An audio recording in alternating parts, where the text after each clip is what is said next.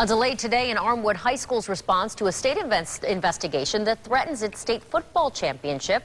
Chief investigator reporter Alan Cohen joins us now, and he broke the story concerning illegal student transfers at Armwood. What's the latest here, Alan? That decision to uh, delay the response came at the very last uh, moment. As early as this morning, the school board told us that it intended to file its response today. On the last day, at the last possible moment, Armwood Principal Michael Ippolito asked for and received a one-week delay to respond to the investigation by the Florida High School Athletic Association. For instance, there's one question that says they needed information on all the students who were transferred into Armwood. We think that means all the students who were involved in athletics who transferred into Armwood, but we need some clarification. At stake is Armwood's 6A state football championship.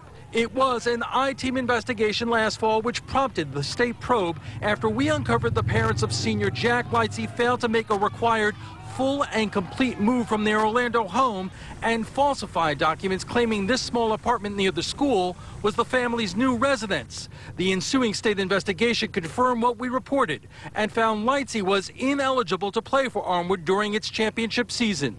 Sonny Hester is the former head of compliance for the FHSAA.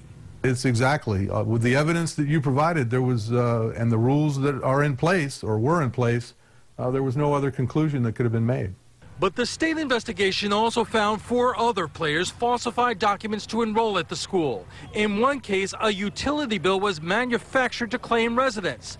The lawyer representing some of the players implicated says they will appeal. Uh, they'll bring lawyers. They'll bring friends, they'll bring anything that they can, and they'll say anything that they can to get their kid through that committee.